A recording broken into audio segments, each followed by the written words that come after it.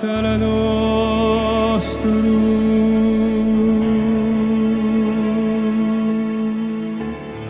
care ești în cerul,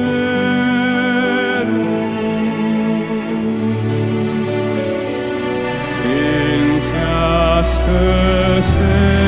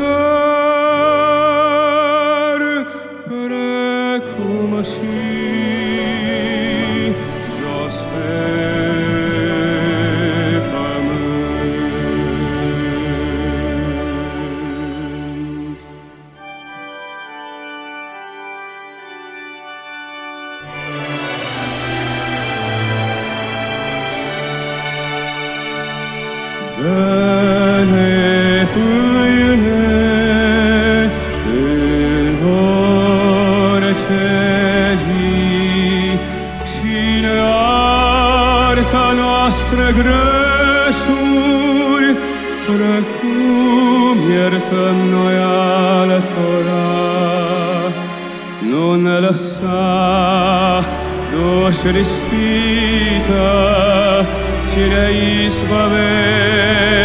de cel rău, căci a